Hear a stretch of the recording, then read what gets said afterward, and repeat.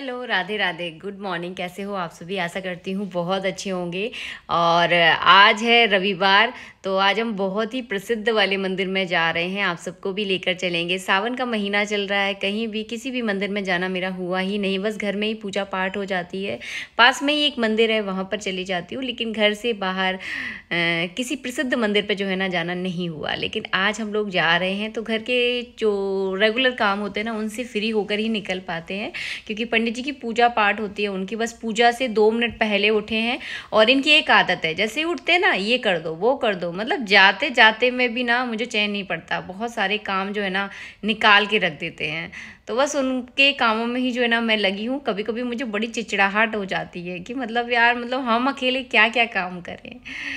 लेकिन क्या कर सकते हैं, यही ज़िंदगी होती है, इसी तरह से चलती है। तो चलिए चलते हैं, मंदिर के दर्शन करते हैं।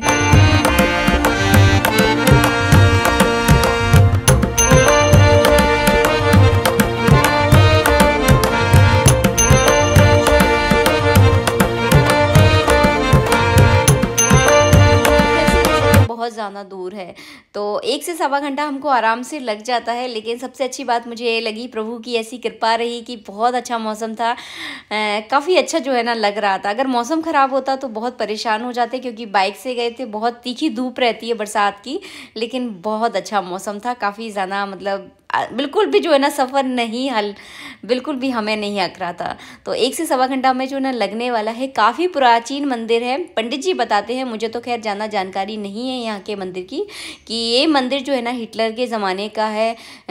किसी जिंद ने जो है ना इसको बनवाया था। काफ़ी, इस मंदिर को जब आप देखोगे तो इसके शिखर को जब देखोगे तो बहुत प्राचीन जो है ना शिखर दिखता है कि आजकल इस तरह के शिखर आपको देखने के लिए मिलेंगे ही नहीं। जो बहुत प्राचीन मंदिर होते हैं ना, उन्हीं मंदिरों पर जो है ना इस तरह के शिखर होते हैं, जो कि मैं आपको आगे दिखाने वाली हूँ कि किस तरह का ये मंदिर है। और यहाँ पर श्रद्धालुओं की भीड़ देखिए, काफ़ी सारे लोग तो नंगे पैर जो है ना दर्शन करने के लिए जा रहे थे। छोटे छोटे बच्चों को मैंने देखा कि नंगे पैर जो है ना आस्था से जा रहे हैं। तो आस्था और श्रद्धा जो है ना, बहुत बड़ी बात होती है। जहाँ श्रद्धा होती है ना, वहाँ आदमी कुछ भी नहीं देखता, बस भक्ति भाव होती है।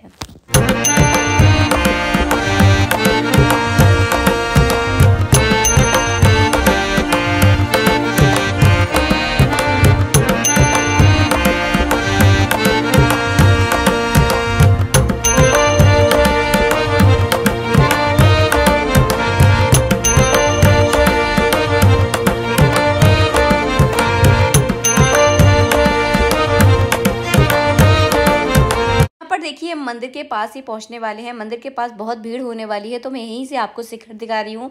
देखिए बहुत पुराना शिखर है सामने ही आपको मंदिर के दर्शन हो रहे होंगे।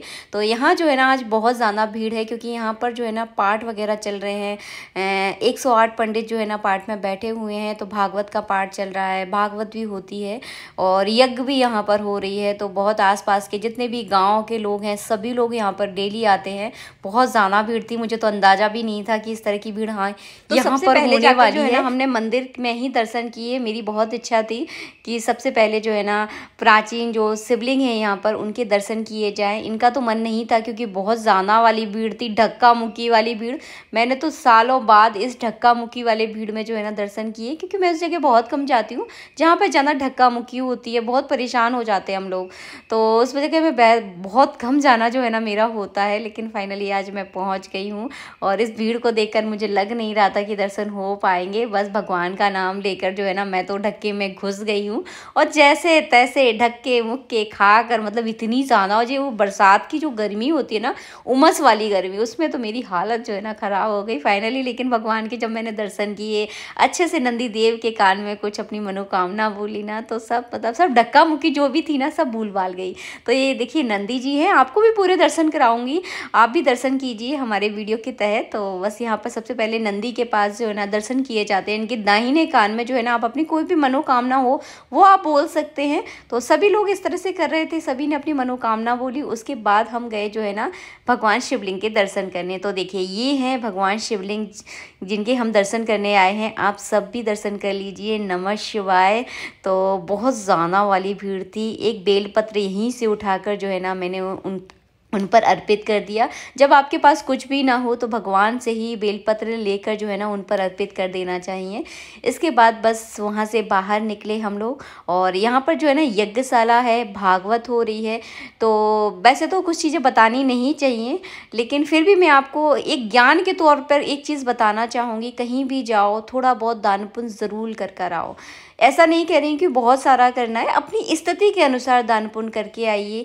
यही जो है ना, आपके साथ जाने वाला है। यही आपके कर्मों को जो है ना सुधारता है। पर एक बुज़ुर्ग जो है ना भागवत पढ़ रहे थे, जिनको भागवत मतलब बड़े इंजॉय के साथ पढ़ रहे थे, उसके एक एक वचन को जो है ना खुद जो है ना अनुभव कर रहे थे तो अपने हाथों को हिलाते हुए बहुत मतलब इनका जो पढ़ने का तरीका था, मुझे सच में बहुत पसंद आया। पढ़ तो सभी रहे थे, लेकिन इतने कुछ तो जो है ना मटर गश्ती में लगे हुए थे, लेकिन जो पूजा पाठ में लगा होता है ना, उसका ध्यान जो है ना इधर से उधर नहीं भटकता। आप इस वीडियो को ध्यान से देखना। काफ़ी सारे लोग तो मतलब एक टक होकर जो है ना केवल भागवत पर ही ध्यान है और काफ़ी सारे लोगों का जो है ना इधर उधर ध्यान है। तो वो चीज़ें जो है ना अलग से दिखने लगती हैं, समझ में आ जाती हैं। लेकिन गलत बात है, जो भी ऐसा करते हैं, बहुत ज़्यादा गलत है। ये बात जो है ना, मैं जान पूछ कर बोल रही हूँ। मुझे मतलब लगता है, जो चीज़ गलत लगती है, वो सच में गलत है। तो उसके बारे में हमें ज़रूर बोलना चाहिए। पूजा पाठ है, ध्यान से जो है ना, करना चाहिए। आप इंसानों से बच सकते हो, लेकिन उस ईश्वर से जो है ना, आपको कोई नहीं बचा सकता। बाकी सब आपकी इच्छा है। हम पे जो दान पुण्य बना, वो दान पुण्य हमने अपनी श्रद्धा के अनुसार किया, अपने बच्चे से जो है ना, वो दान पुण्य करवाया। क्योंकि मैं हमेशा आपसे कहती हूँ, ये छोटे छोटे दान पुण्य जो है ना, आपके प्रारब्ध को सुधारते हैं, आपके बच्चे के भविष्य को सुधारते हैं तो अपनी श्रद्धा के अनुसार कीजिए दान पुण्य।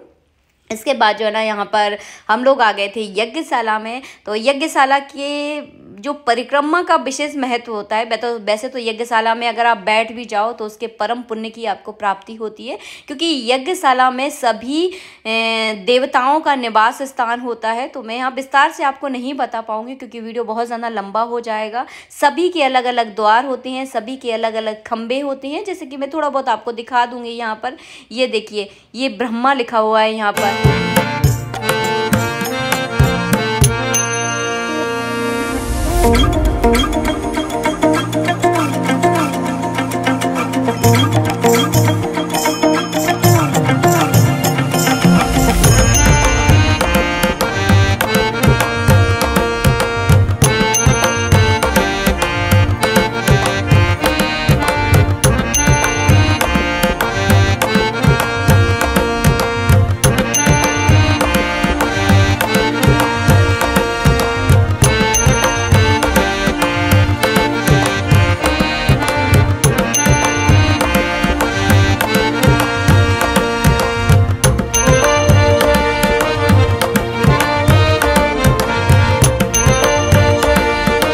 देखिए, ऋग्वेद लिखा हुआ है पूर्व द्वार यहाँ से जो है ना, जो पूजा कराने वाले आचार्य होते हैं, वही प्रवेश करते हैं। यहाँ देखिए, ये सामने ये नागराज का खंबा बना हुआ है तो सबके अलग अलग खंबे होते हैं। तो इतनी जानकारी मुझे बहुत ज़्यादा नहीं है, जो रास्ते में पंडित जी मुझे बताते जा रहे थे, वही जानकारी मैं यहाँ पर आपको दे रही हूँ। तो यहाँ पर जो है ना पाँच सात परिक्रमा आप ज़रूर कीजिए, जहाँ पर आप कहाँ, कहीं भी रहते हो, कहीं भी आपके आसपास अगर इस तरह की यज्ञ होती है तो इसकी परिक्रमा का विशेष महत्व रहता है, आप लोग ज़रूर कीजिएगा। सावन का महीना चल रहा है तो धर्म पुण्य का महीना चल रहा है तो इस महीने में आप धर्म पुण्य ज़रूर कीजिए, आपको विशेष फलों की प्राप्ति होगी। यज्ञशाला की ग्यारह परिक्रमा हो चुकी हैं, चलिए अब घर को चलने की तैयारी में है, क्योंकि जो बदल है ना, वो बहुत तेज़ हो रहा है। तो अब जो है ना, बारिश होने वाली है। अगर बारिश हो गई तो यहाँ जो है ना, भीड़ बहुत ज़्यादा हो रही है तो फिर बहुत ज़्यादा दिक्कत हो जाएगी। और दूसरी बात ये भी थी कि इनका अपना पार्ट भी है तो घर जाकर बहुत सारे काम भी करने हैं। मुझे बहुत सारे काम करने हैं, इनको अपनी पूजा पाठ करनी है। तो टाइम पर अपने घर पहुँच जाएँ तो यही सही रहता है। इन्होंने मुझे पूरे यज्ञ के बारे में बताया कि क्या क्या रहता है यज्ञ में क्या क्या नहीं रहता है, क्योंकि इनको बहुत ज़्यादा जानकारी है पूजा पाठ से जुड़े हुए हैं। मैं इतना नहीं जुड़ी हुई है, इतनी जगह जाना मेरा बहुत कम होता है। जब भी जाती हूँ, आप लोगों को साथ में लेकर जाती हूँ, आपको भी चीज़ें दिखाती हूँ। तो ये यज्ञशाला है, इसमें रोज़ यज्ञ होती है। इसके बाद दोपहर के समय जो है ना, यहाँ पर भागवत होती है।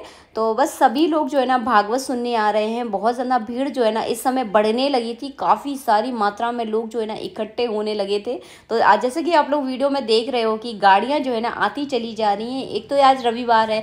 रविवार के दिन सबकी छुट्टी होती है तो इस समय लोग सोचते हैं चलिए मंदिर चलते हैं दर्शन करते हैं तो ऐसा लग रहा था कि चलो अब घर चलते हैं क्योंकि बहुत तेज़ तेज़ वाली बारिश का मौसम हो रहा था। लेकिन इनको लग रहा था कि नहीं चलो रुकते हैं क्योंकि इनके मिलने जुलने वाले यहाँ पर बहुत सारे लोग थे तो इनका तो बिल्कुल भी मन नहीं था यहाँ से जाने का। लेकिन इनको जाकर पूजा पाठ करनी थी, अपना काम वगैरह भी करना था।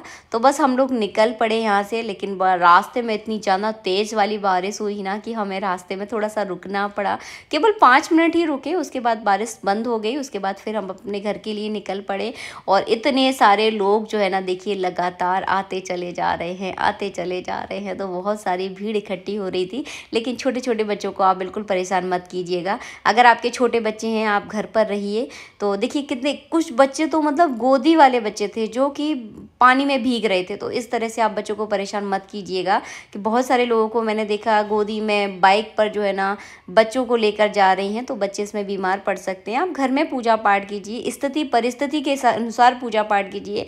इस तरह से बच्चों को परेशान मत कीजिएगा। अगर आपके बच्चे बीमार हो गए तो आप यहाँ पर जो दर्शन किए हैं, वो वहाँ जाकर आपको मतलब बच्चों से आप परेशान हो जाओगे। तो इस चीज़ को थोड़ा सा देखें। स्थिति और परिस्थिति के अनुसार चलें।